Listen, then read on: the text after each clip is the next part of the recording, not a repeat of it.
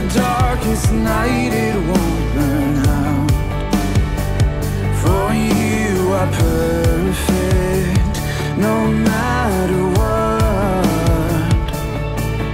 In the joy of the suffering,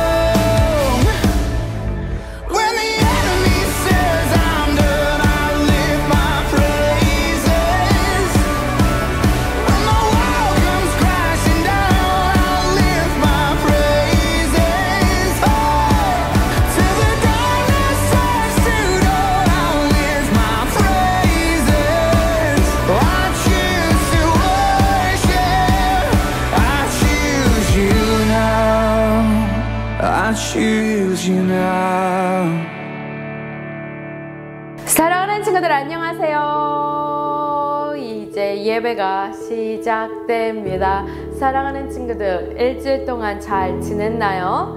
우리는 가스펠 프로젝트 시리즈를 함께 하고 있습니다. 그 시리즈 중 구속하시는 하나님에 대해서 함께 나누고 있어요. 하나님은 이스라엘 백성들을 애굽으로부터 나오게 하셨어요. 그리고 그들과 함께 하시면서 지난주에 우리는 홍해를 건너는 이스라엘 백성들의 모습을 함께 나누었습니다. 홍해를 건넌 후 과연 이스라엘 백성들에게는 무슨 일이 일어났을까요? 하나님은 이스라엘 백성들에게 무엇을 원하셨을까요? 오늘 그 이야기를 기대하면서 오늘도 기쁨과 감사로 찬양하며 하나님의 말씀에 귀를 기울일 준비 됐나요? 지금부터 예배가 시작됩니다.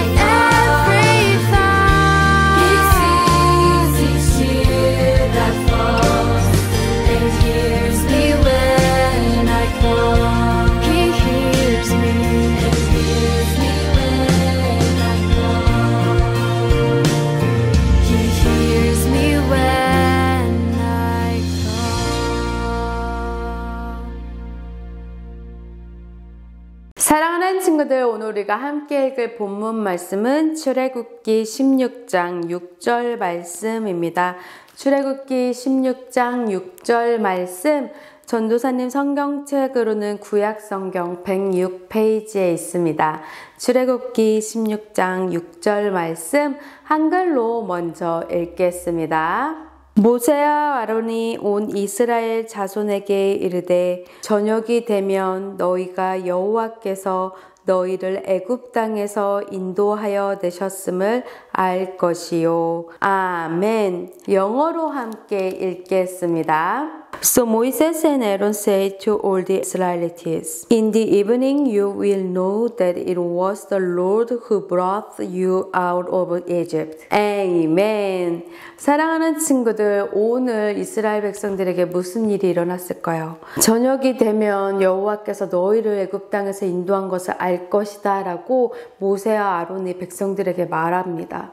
과연 무슨 일이 일어났기에 이스라엘 백성들에게 이렇게 말하고 있을까요? 오늘의 이야기를 기대하면서 하나님의 말씀에 귀를 기울여 주세요.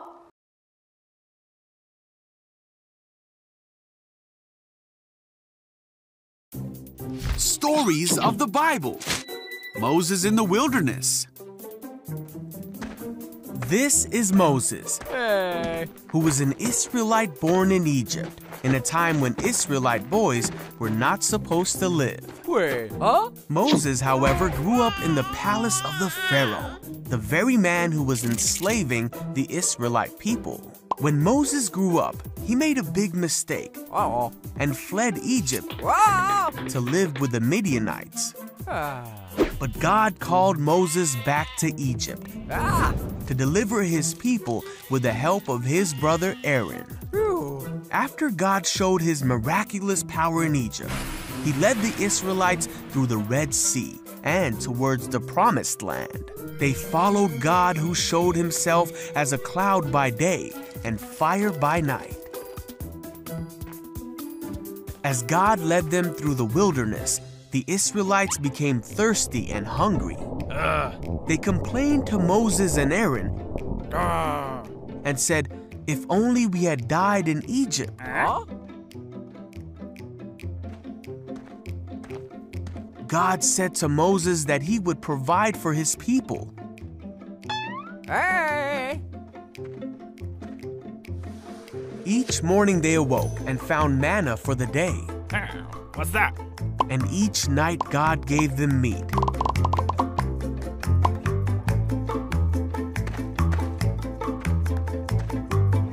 The people were still thirsty, and they were mad at ah. Moses, saying, Did you bring us out here to die of thirst? Yeah. So Moses cried out to God, and God told Moses to strike a rock, and water came flowing out of it for the people to drink. And so the Lord provided for his people's needs. 사랑하는 친구들, 우리는 가스펠 프로젝트 시리즈를 함께 하고 있습니다. 그 시리즈 중 구속하시는 하나님에 대해서 함께 나누고 있어요. 하나님은 이스라엘 백성들을 애굽이라는 그곳으로부터 나오게 하셨습니다. 출애굽하게 하셨죠. 왜일까요? 하나님은 이스라엘 백성들이 하나님의 백성들이 하나님만이 참 하나님이며 하나님만이 그들의 하나님임을 알기를 원하셨어요. 그리고 그 이스라엘 백성들이 그 하나님만을 예배하며 살기를 원하셨어요.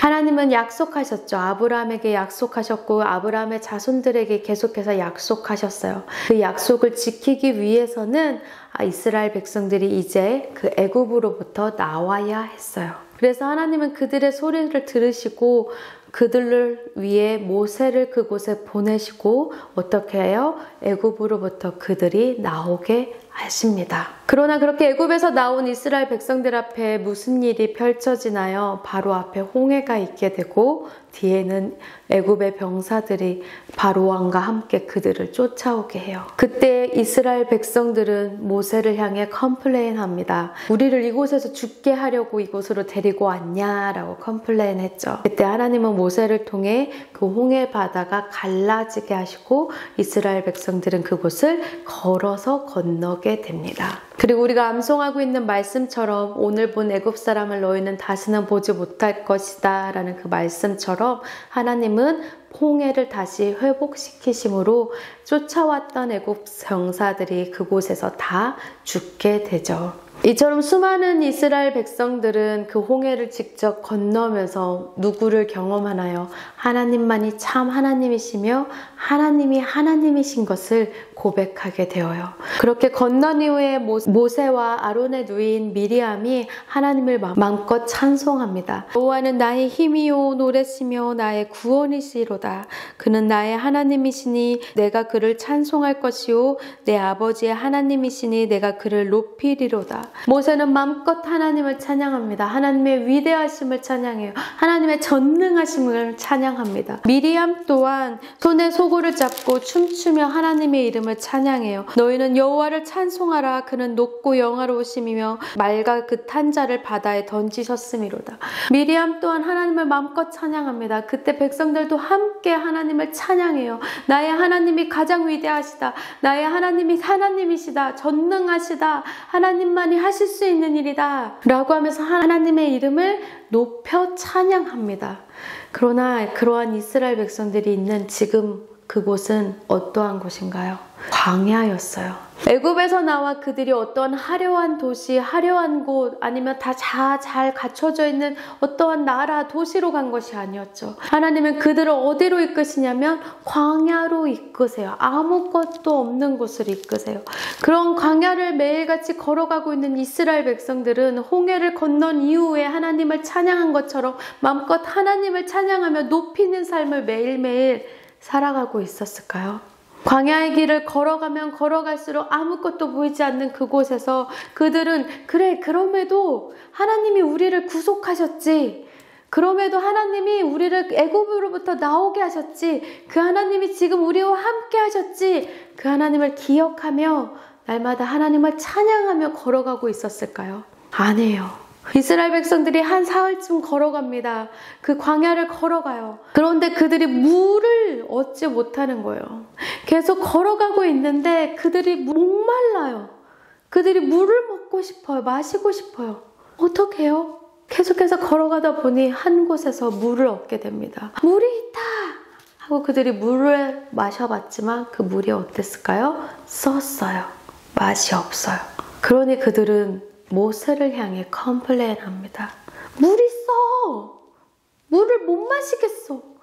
목말라! 그러니 하나님은 모세를 통해 무엇을 하게 하시냐면 한 나뭇가지를 그 물에 던지게 하세요.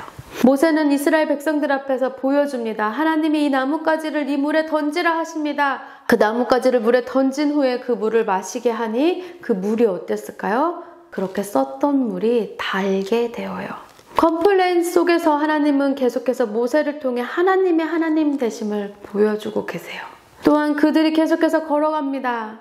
아무것도 없죠. 그들은 그렇게 걸어가고 있는데 먹을 것이 필요했어요. 배가 고파요. 그래서 그들은 모세와 아론을 향해 complain 합니다. 우리가 여기서 굶어서 죽겠구나. 아무것도 먹지 못해서 배고파서 죽겠구나. 라고 모세 아론을 향해 complain 합니다. 모세에게 하나님은 말씀하세요. 내가 저녁이 되면 고기를, 아침이 되면 떡을 줄게. 그것을 어떻게 보관하면 되고, 여섯째 날에는 그것보다 갑절로 준비하면 돼. 일곱째 날에는 그것을 줄 필요가 없어. 라고 그 모든 계획들을 하나님이 모세에게 말씀하시고 모세로 하여금 백성들에게 말하게 해요. 오늘 우리가 읽은 말씀처럼 너희가 저녁이 되면 여호와께서 너희를 애굽에서 인도하셨음을 알게 될 거야. 하나님이 우리에게 어떻게 먹을 것을 주시는지 너희가 알게 될 거야 라고 말해주는 거예요. 배고파? 배고파서 죽을 것 같아? 배고파서 온통 불평과 불만뿐이야? 기다려. 하나님이 너희를 먹이신대. 라는 거죠. 하나님은 그 불평과 불만 속에서도 그들을 기억하시며 그, 들에게 저녁이 되면 매출하기가 오게 하시고 그래서 고기를 먹게 하시고 아침이 되면 이슬이 내리고 그 이슬이 내린 그곳에 만나가 있게 하시면서 그들로 하여금 떡을 얻게 하시는 거예요. 이처럼 계속해서 컴플레인하는 이스라엘 백성들 앞에 하나님은 계속해서 그들을 채우시는 거예요. 그들의 필요를 채워주시는 거예요. 또한 그들이 물이 또 먹고 싶었습니다. 목이 말라 죽을 것 같아. 우리가 이곳에서 죽는구나. 모세, 우리를 이곳에서 죽게 하려고 데리고 왔구나. 계속 컴플레인하는 그들 앞에 하나님은 한 반석을 가리키시고 그것을 칠하라고 말씀하셨어요. 그렇게 했을 때 그곳으로부터 물이 쏟아져 나왔습니다. 사랑하는 친구들, 이스라엘 백성들은 하나님이 그들을 구속하신 하나님임을 알았어요. 경험했어요. 홍해를 두 발로 건너면서 이스라엘 백성들은 무엇을 경험했어요? 하나님이만이 진짜 하나님이구나. 하나님만이 전능하신 하나님이구나. 하나님만이 우리를 구속하신 하나님이구나. 라는 것을 알았어요. 경험했어요. 그런데 그 경험 이후에 계속해서 걸어가는 모든 순간에 닥치는 어려움들 속에서 그들은 그 하나님을 기억하지 못했어요. 그들은 그 하나님을 향해 원망했어요. complain 했어요. 모세와 아론이 말합니다. 너희들이 지금 나에게 complain 하고 있어? 그것은 곧 누구를 향한 complain이야? 하나님을 향한 complain이야. 그럼에도 백성들은 어려움이 닥칠 때마다 계속해서 complain 하는 것이에요. 하나님은 그 모든 소리를 다 들으셨겠죠. 그러나 하나님은 그 모든 가운데서도 무엇 해주세요? 그들의 필요를 채워주세요. 목이 마르다 하면 물을 주시고 배고프다 할기에 그들에게 만나와 매출하기로 그들의 배고픔을 채워주세요. 하나님이 그들에게 원하셨던 것은 하나님을 기억하며 살아가는 거였어요. 하나님을 기억하면서 하나님의 말씀을 지켜나가며 날마다 하나님과 함께 하며 살아가기를 원하셨어요. 그러나 이스라엘 백성들은 어려움이 닥칠 때마다 계속해서 complain 하게 되었어요. 사랑하는 친구들, 이 모습이 우리의 모습과 같습니다. 또한 이런 우리의 모습을 지켜보시는 하나님이 이스라엘을 도와주신 그 하나님이십니다. 우리 또한 우리가 어려움의 순간이 닥치면 어떻게 돼요? 하나님, 이 어려움을 주셔서 감사해요. 내가 하나님을 기억하며 하나님께 기도하며 나아갈게요. 라고 하기보다는 우리 안에 어려움이 있을 때 왜 나에게만 이런 어려운 순간들이 있는 거야. 이스라엘 백성들이 배고프다, 목마르다라고 불평하는 것처럼 우리에게 있는 어려움들 속에서 우리도 무엇해요? 불평해요. 하기 싫어. 이건 너무 힘든 일이야. 나에게 좋은 일만 있었으면 좋겠어. 그러나 이스라엘 백성들에게 있었듯이 우리가 이 세상을 살아갈 때도 우리에게도 동일하게 어려움의 순간들은 계속해서 있어요. 그런데 하나님이 우리에게 원하시는 것은 무엇이에요? 이스라엘 백성들에게 하나님이 원하셨던 것처럼 우리에게도 그 하나님을 기억하며 하나님께 부르짖으며 찾으며 하나님이 함께하고 계심을 고백하며 살아가기를 원하신다라는 거예요. 사랑하는 친구들, 이 하나님을 기억하며 살아갔으면 좋겠어요. 어려움 가운데 있는 모든 순간에 필요함을 채워주시고 또한 함께 하시며 도와주시며 인도하시는 하나님이심을 우리가 기억하며 살아가는 우리 친구들 되었으면 좋겠습니다. 기도하겠습니다. 하나님 감사합니다. 이스라엘 백성들과 함께 하시며 그들의 모든 것들을 채워주셨던 하나님이 우리의 하나님이심을 고백합니다. 사랑하는 친구들과 가정들과 교회들이 이 하나님을 기억하며 어떠한 어려움 속에서도 하나님과 함께 하는 우리 모두 될 수 있도록 도와주세요. 사랑하는 하나님 세계 곳곳에 아직도 어려움에 있는 이웃들과 나라들이 있습니다. 전쟁 중에 있는 나라들이 있습니다. 하나님은 그들을 기억하여 주시며 또한 그들 또한 하나님을 기억하여 도우시는 하나님, 채우시는 하나님, 구속하시는 하나님이 계심을 기억하며 이 어려움들을 이겨낼 수 있도록 하나님 함께하여 주시고 도와주세요. 감사드리며 예수님의 이름으로 기도합니다. 아멘.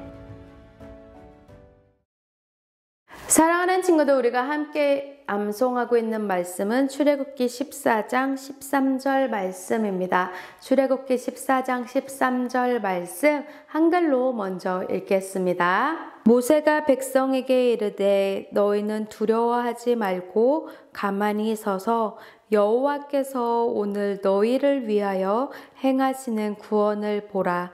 너희가 오늘 본 애굽 사람을 영원히 다시 보지 아니하리라. 아멘. 영어로 함께 읽겠습니다. Moses answered the people, Do not be afraid. Stand firm and you will see the deliverance the Lord will bring you today. The Egyptians you see today, you will never see it again. Amen. 사랑하는 친구들, 하나님은 이 말씀 그대로 이루셨습니다. 이 하나님이 이스라엘 백성들의 하나님이셨죠. 그리고 우리의 하나님이십니다. 사랑하는 친구들, 하나님은 하나님의 말씀을 지켜나가시는 하나님이세요. 이루시는 하나님이세요. 그 하나님이 우리 하나님임을 기억하며 이 출애굽기의 이 말씀을 암송하며 기억하며 고백할 때마다 우리의 하나님이 얼마나 위대하신 하나님이심을 기억하며 고백할 수 있는 우리 친구들 되었으면 좋겠습니다. 사랑하는 친구들 이번 한 주 동안 이 말씀을 암송하며 고백해 보세요. 사랑하는 친구들 예배 잘 드렸나요? 우리는 가스펠 프로젝트 시리즈 중 구속하시는 하나님에 대해서 함께 나누고 있습니다. 하나님은 하나님의 백성들을 구속해 내셨습니다. 애굽으로부터 나오게 하신 그 하나님이 하나님만이 참 하나님임을 기억하며 살아갈 수 있도록 이스라엘 백성들을 인도해 내셨어요. 그렇게 인도하신 하나님이 그들에게 하나님만이 하실 수 있는 일들을 보여주시며 하나님을 기억하며 살아가게 하십니다. 그러나 그 어려움 속에서 이스라엘 백성들은 계속해서 complain 하죠. 그러나 하나님은 계속해서 하나님이 그들을 돌보고 있다. 내가 너희와 함께 하고 있다. 라는 것을 계속해서 보이십니다. 사랑하는 친구들, 이 하나님이 바로 나의 하나님임을 기억하며 살아가는 일주일을 보냈으면 좋겠어요. 나의 하나님이 나의 구속하시는 나를 구원해내신 하나님이시고, 나의 하나님이 나와 함께 하시며 나를 돌보시고 지키시고 나의 모든 것들을 채우시는 하나님임을 기억하며 살아가는 우리 친구들 되었으면 좋겠습니다. 이번 한 주도 나와 함께 하시는 하나님, 나의 어려움을 아시는 하나님, 나의 모든 필요를 채워주시는 하나님, 그 하나님이 나와 함께하고 계심을 기억하며 살아가는 우리 친구들 되었으면 좋겠습니다. 이번 한 주도 잘 지내다가 우리 다음 주에 만나요. 안녕!